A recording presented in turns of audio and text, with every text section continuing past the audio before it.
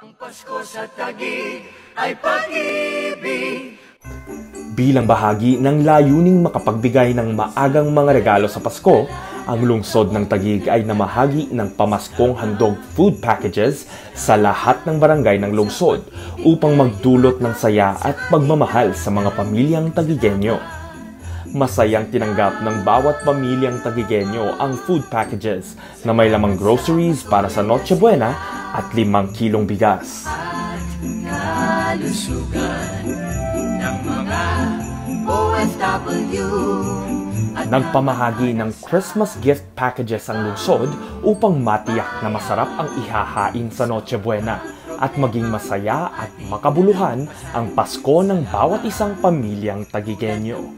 This holiday season, let us all give and share dahil ang Pasko sa Tagig ay pag-ibig. Ang Pasko sa Tagig ay pag-ibig.